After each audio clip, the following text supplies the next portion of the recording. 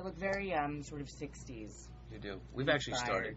We've Oh, actually- don't you think I look sort of 60s inspired today, Billy? You look awesome. Well, thank you. But No you're in the look yet. style game. You really have to look awesome. You can't talk fashion and look bad. I know. Well, that's a big thing. Yeah. I am a fashion liability to Access Hollywood, so that's why I want to I want to talk to you about last night. You, we'll start with the, the color white.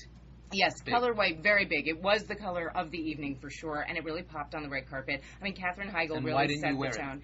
Well, you know what? Because I always like to be a little bit different, a little bit ahead of the curve. As a fashion expert, Next be, year it's red, and that's why you were wearing red. let me tell you, being part of the trend as it's happening is not cool enough for a fashion It's like expert. being in USA Today Life section. exactly. As soon as you're there, it's over. It's over. right. Right. Now, I will say, Billy, I do want to compliment you on the fact that not only did your tux fit you so well, but the tie ring. Clearly very popular. The ladies went bonkers over my little diamond tie ring. It's like a big wedding ring around the top of the tie net. Right? It was amazing. They went crazy Yeah. for it. Well, you know what? I like that. I like that you were attracting that kind of attention to a men's accessory because it's so rare that that happens. Yeah, I thank you. Marcia Cross's earrings uh, has a little bit of.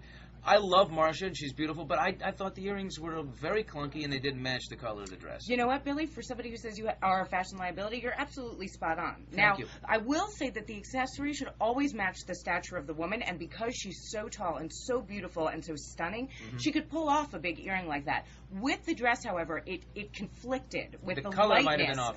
Well, it was also It was nice with her hair and everything, dress. that, but the dress might have been something else. Exactly. If it had been a, A deep deeper dark color. blue? How about a dark blue?